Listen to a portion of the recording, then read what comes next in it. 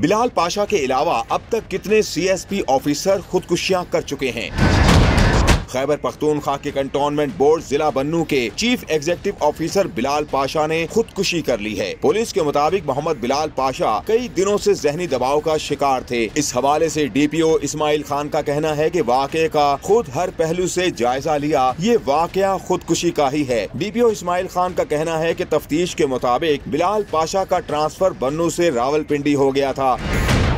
हालिया सालों में खुदकुशियाँ करने वाले अफसरान में एसएसपी शहजाद अकाउंट्स ग्रुप की खातून अफसर Nabiha DPO Jahanzeb Kakar deputy commissioner Suhail, जबकि एसएसपी अबरार हुसैन नेकोकारा और अब उनमें बिलाल पाशा शामिल हो गए हैं।